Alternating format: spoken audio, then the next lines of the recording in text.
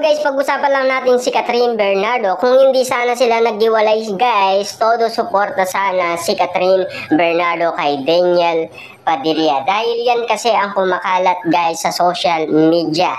Napansin kasi natin guys lahat ng mga posts ng mga Katniel fans, lalong-lalo na guys sa mga binibigyan bahagi or foundation ng Katniels noon, di ba? At sinishare nga sa atin na sana hindi sila nagkaiwalay at masaya sana ang bonding moment nila ngayon.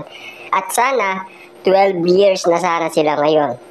'Di ba? Ang hiling lang sana ni Catherine Bernardo ay matapos niya ang kanyang pinapagawang mansyon. Ano na kaya ang next nila sanang gagawin?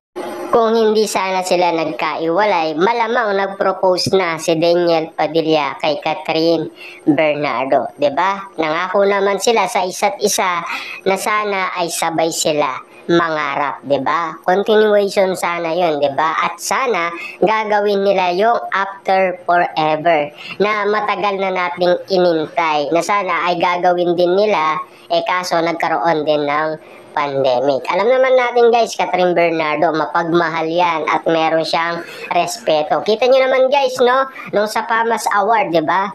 Pinipigilan ng mga guard ang mga Catden fans, pero si Catherine Bernardo, no, no, no, no, pinipigilan niya, 'di ba? Kaya nga naman napakasaya ng mga tao na parehas kasi ang ugali ni Alden Richard kay Catherine Bernardo, 'di ba? Yan kasi ang mga pinag-uusapan sa social media na naririnig natin na kinukwento umano ng mga Catden fans, 'di ba?